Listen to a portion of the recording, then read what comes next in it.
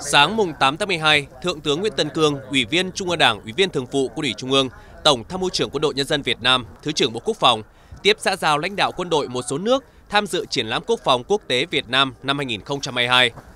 Thượng tướng Nguyễn Tân Cương nhiệt liệt chào mừng các nước đã tới Việt Nam tham dự triển lãm quốc phòng quốc tế Việt Nam năm 2022.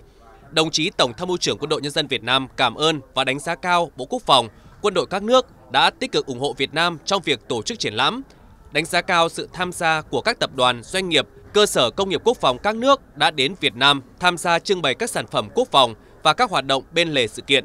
Thượng tướng Nguyễn Tân Cương khẳng định, thông qua việc tham dự triển lãm quốc phòng quốc tế Việt Nam năm 2022, trân trọng đề nghị lãnh đạo quân đội các nước sẽ tiếp tục quan tâm, chỉ đạo và tạo điều kiện thuận lợi hơn nữa cho các cơ quan chức năng, các doanh nghiệp công nghiệp quốc phòng của mình phát triển mối quan hệ hợp tác công nghiệp quốc phòng hiệu quả hơn, toàn diện hơn với các cơ quan chức năng, doanh nghiệp công nghiệp quốc phòng của Việt Nam. Việt Nam mong muốn thúc đẩy hợp tác quốc phòng với các nước không ngoài mục tiêu tăng cường quan hệ hữu nghị, hợp tác, phát triển vì hòa bình, ổn định của mỗi quốc gia cũng như của khu vực và trên thế giới.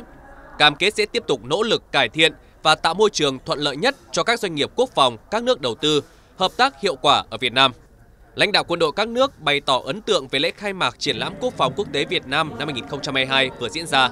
tin tưởng thành công của triển lãm sẽ góp phần thúc đẩy lòng tin và tăng cường hợp tác giữa các nước vì hòa bình, ổn định của khu vực.